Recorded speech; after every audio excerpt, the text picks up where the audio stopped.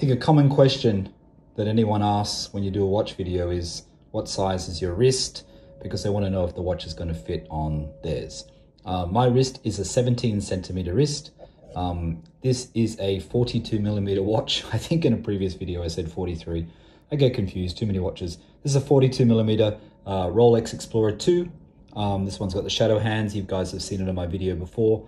But to me, um, it fits pretty well. I think it is the right size. And yes, it is a big watch. Uh, and yes, if you've got a small wrist, you might not like it if you're used to uh, to smaller size Rolexes or watches of 36, 40 millimeter. Um, but I find it quite comfortable. I don't find it heavy.